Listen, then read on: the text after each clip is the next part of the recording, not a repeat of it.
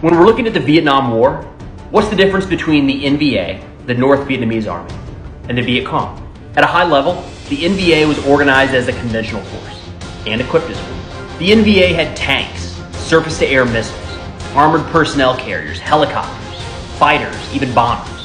Whereas the Viet Cong, also known as the Liberation Army of South Vietnam, was more of an unconventional light force. They still had structure and reporting chain directly to the NVA, but they were made up mostly of South Vietnamese supporters of North Vietnam. As a lighter force, usually nothing bigger than a Dishka or an 82mm mortar, the Viet Cong were better suited for hit and run style tactics than slogging it out in a conventional fight.